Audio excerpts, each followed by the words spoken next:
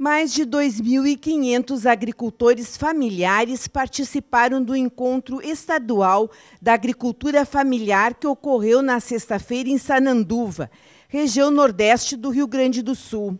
A reunião tem como objetivo discutir a atual conjuntura da agricultura familiar, os desafios futuros e apresentar experiências desenvolvidas no campo. A atividade é promovida pela Federação dos Trabalhadores na Agricultura Familiar da Região Sul. O evento marca também a comemoração de 2014 como o Ano Internacional da Agricultura Familiar, conforme declarado pela Organização das Nações Unidas. As cadeias produtivas ligadas à agricultura familiar no nosso estado respondem por 27% do nosso produto interno bruto e de cada três municípios do nosso estado, dois municípios têm até dois, 10 mil habitantes.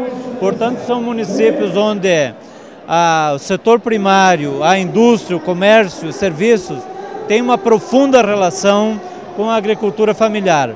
Por isso a importância deste encontro, por isso a Federação da Agricultura Familiar, a FETRAF, como importante nesta organização desses produtores a sua organização política, social e econômica desses 380 mil agricultores familiares.